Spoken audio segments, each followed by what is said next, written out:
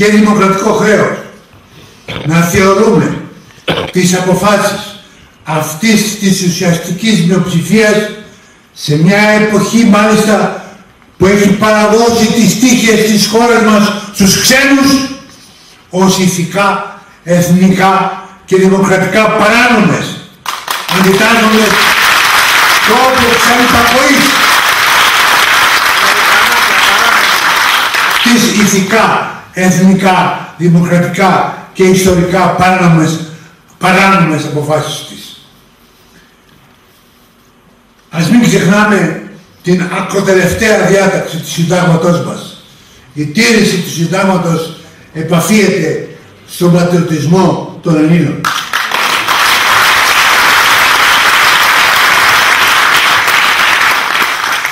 Αγαπητοί φίλοι, σας κούρασα. Κουράστηκα.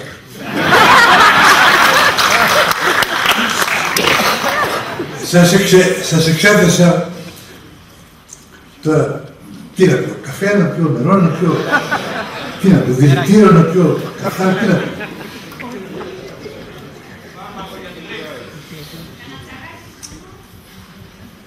Σας εξέθεσα όσο γίνεται πιο σύντομα τις απόψεις μου, που θα τις βρείτε ολοκληρωμένες στο βιβλίο που κυκλοφορεί με τίτλο «Η Σπίθα». Θα το βρείτε εδώ. Κυκλοφορεί ήδη. Και σε ένα ουσιαστικά είναι CD, αλλά το βάλαμε σε ένα DVD για να χωρέσει τις δυόμιση ώρες, τις δυόμιση ώρες θα το ακούτε, αν θα το ακούσετε, το οποίο επίσης υπάρχει και εδώ και διατίθεται. Και θα υπάρχει στα βιβλιοπολία. Επομένως όλα εδώ. Έχω και τις συμφωνίες εδώ του κυρίου Κασιμάτη που με κάνουν να θυμάμαι ότι το 1943 έδωσε εξετάσεις νομικής, πέρασα και φίτησα. Άκουσα ένα μάθημα του κύριου Τσάτσου. Και έκτοτε θεωρούμε νομική αυθεντία.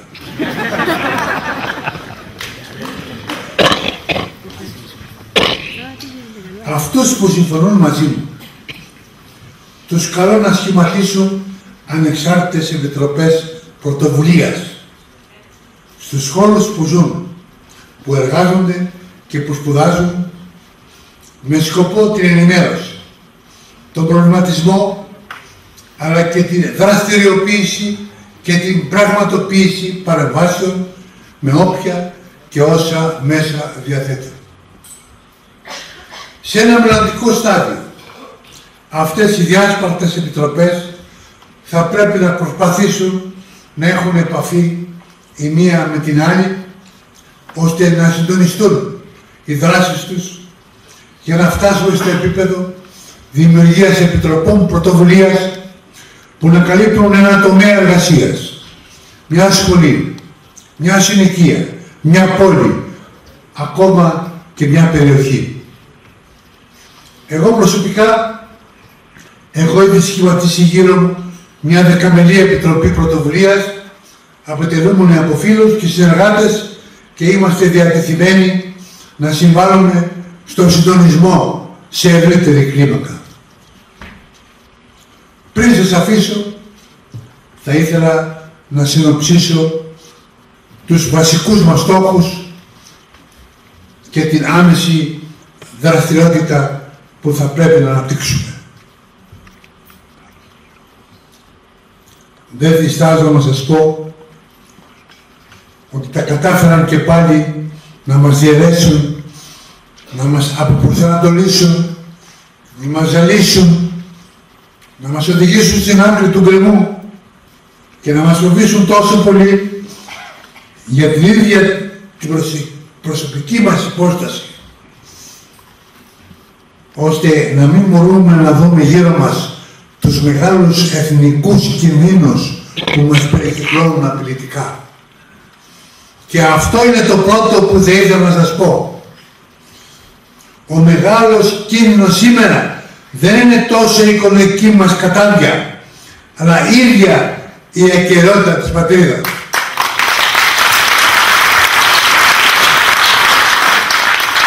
Και δεν αποκλείεται καθόλου αυτά τα δύο να συνδέονται μεταξύ τους. Δηλαδή μας ζαλίζουν καθημερινά με νέα μέτρα για να φύγει η σκέψη μας από τα μέγιστα όπως είναι η εθνική μας οντότητα. Έτσι, όταν ξαφνικά προκύψουν οι εχθρικές ενέργειες, δεν θα υπάρχουν πια αληθινοί Έλληνες να τους εμποδίσουν. Εδώ θα καθίσουμε. Δεν θα φύγουμε εδώ στο τόπο. Είναι ανάγκη να καταφέρουμε να εξοντώσουμε το τέρας της ξένης εξάρτησης που αφού δεν μπόρεσε ως τώρα να μας αντιμετωπίσει με τοπικά μεταφιέστηκε σε δούλο ύπο που έφτασε στο σημείο να νομοθετεί στη Βουλή στη Βουλή των Ελλήνων κρυμμένος πίσω από μια ισχνή κοινωνιστική πλειοψηφία που στην πραγματικότητα την ακολουθεί μόνο ένα 20% μνημονιακών οπαδών από τους οποίους περισσότεροι από αυτούς ακολουθούν πιθανότατα γιατί δεν βλέπουν ακόμα τη μεγάλη εικόνα των πραγμάτων, τη γενική εικόνα των πραγμάτων. Και είναι πραγματικά άξιο απορίας. Πώς δέχονται οι υπόλοιποι βουλευτές, ο πρόεδρος της Βουλής και ακόμα ακόμα ο πρόεδρος της Δημοκρατίας να μεταβάλλεται ο ναός της ελληνικής δημοκρατίας σε μια μηχανή νομιμοποίησης μιας ουσιαστικής αντιδημοκρατικής και αντιλαϊκής πολιτικής.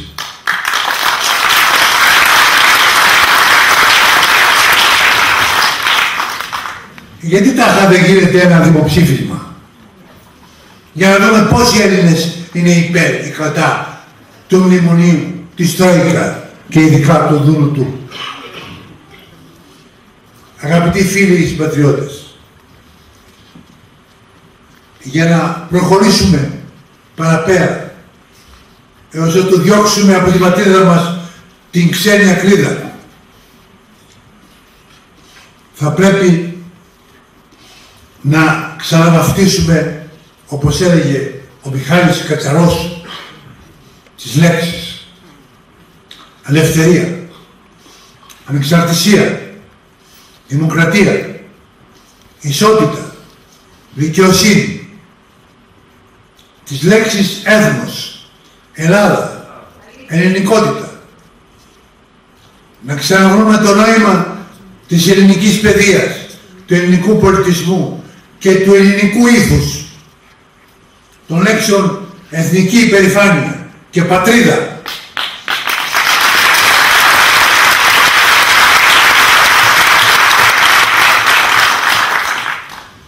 Ξένοι και τα όργανα τους.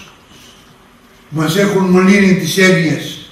Αλήθεια, ειλικρίνεια, τιμότητα, ευγένεια, σεβασμός, αλληλεγγύη, φιλοξενία.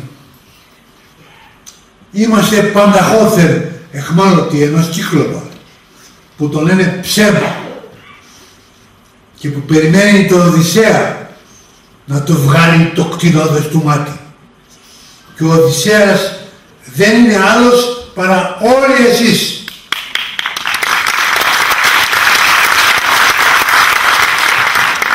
Εμείς όλοι, οι ανεξάρτητοι, οι ανέντακτοι και αντίθετοι σε αυτό το σάπιο κόσμο που μας πλήγει. Συνοψίζω.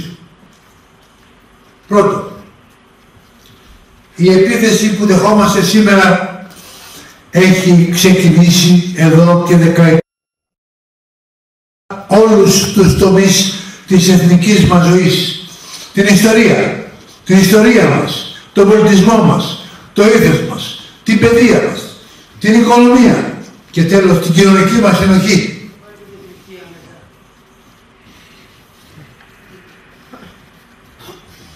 Αφορά ακόμα το πιο σπουδαίο την εθνική μας ακυρεότητα.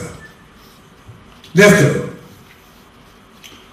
με τον εμφύλιο πόλεμο οι Αμερικάνοι ήρθαν στην Ελλάδα για να μείνουν και έμειναν έως σήμερα. Παράλληλα με τον ΝΑΤΟ και με την Ευρώπη. Μας αποκόψανε από τον υπόλοιπο κόσμο. Και αφού πρώτα μας γλύκαναν με τα σχέδια Μάρσαλ, Ντελόρ κλπ, τώρα έφτασε η ώρα της πληρωμής. Τώρα της σκητάλη την πήραν οι παλιοί μας μόνιμοι, οι Γερμανοί. Σήμερα μας ζερούν χώρα τρίτης κατηγορίας. Μας ανεβοκατεβάζουν διεφθαρμένους, ανίκανους, απαταιώνες και μας απειλούν να μας διώξουν από τον παράδεισο του τέταρτου οικονομικού ράιχ που χτίζουν στις πλάτες ολόκληρης της Ευρώπης. η οποία θα το δείτε σύντομα θα δείξει σημάδια ενότητας αντίδρασης. Εκτός και ασφίξουμε το ζωνάρι μας έως ασφυξίας και κλείσουμε τα μάτια μπροστά στα εθνοκτόνα σχέδιά τους. Έτσι, το γνωστό ανήκομενη στην Δύση έχει καταντήσει βραχνά για τη χώρα και το λόγο μας. Τρίτον, επειδή η Δύση δεν είναι πια επιλογή, αλλά καταναγκασμός, δεν έχουμε παρά δύο δρόμους μπροστά μας. Αφού φυσικά πρώτα μπορέσουμε να βρούμε τρόπους να σταθούμε στα πόδια μας. Α. Έχοντας πίσω μας το κύρος της συντριπτικής πλειοψηφίας του λαού μας να επαναδιαπα επαναδιαπραγματευτούμε σαν ίσως προς ίσο όλο το πλέγμα των σχέσεών μας.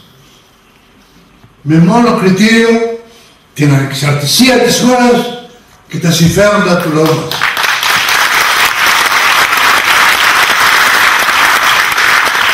Είτε β, να ενώσουμε τις δυνάμεις μας, ώστε να πετύχουμε την αναγκαία ριζική στροφή στους εθνικούς μας προσανατολισμούς που θα μας εξασφαλίσουν με ισότιμους όρους την εθνική μας ανεξαρτησία και ασφάλεια καθώς και την οικονομική μας επιβίωση, ανάπτυξη, αυτοτέλεια. Τέταρτο. Η σημερινή κυβέρνηση και η σημερινή αξιωματική αντιπολίτευση έγιναν κόμματα εξουσίας χάρη στην εμπιστοσύνη και την έμνοια των δυνάμεων της ξένης εξάρτησης. Επομένως σήμερα, ό,τι και αν είναι σε εμάς τους Ιταγενείς,